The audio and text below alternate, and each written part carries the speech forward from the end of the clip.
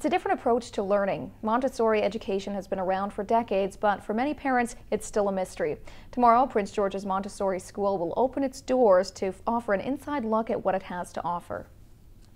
To have your kindergarten child come home and tell you exactly how a volcano works, it was amazing. Whether it's volcanoes or Lego building, students like Daniel get to dig deeper into what inspires them. They are able to build and create and interests, no matter what they are, are fostered for that child. So whether it's a child-led club, like the Lego Builders Club, to a dance club. My daughter's in kindergarten and has joined the dance club. And these are all student-led activities, which you don't really see in a, any other school. That's the goal for Highglen Montessori.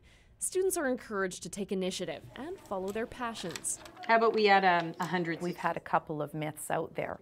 We either get that's a school for special needs, or we get that's a school for exceptional kids, as in gifted or something like that. Highglen accepts students of all levels. It's based on the principle of recognizing each child's strengths and challenges. Unlike other Montessori schools, it's part of the public system. The teacher becomes the guide on the side rather than the sage on the stage, so that the teacher's just there to help and it appeals, to be honest, to parents who want children to be raised in an environment like that. 1,080. Um... Classrooms have three grades of students together. Letter grades aren't a focus. Instead, students get feedback and encouragement. It's perceived as being um, a very loosey-goosey, hippie type of uh, school where the students really don't have rules when in fact they have a lot of rules in Montessori schools that students learn, but the teacher doesn't uh, you have a big stick and waving those rules. When she was looking into schools for her son, Lena Pettinger went to the open house at Highglen.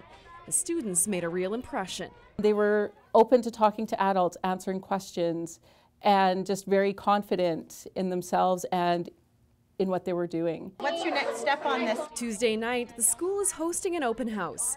The event will include information on programs from preschool through to grade 9. To have your kids excited and motivated to learn and motivated to read and actually play and do things on their own is um, amazing to see them grow.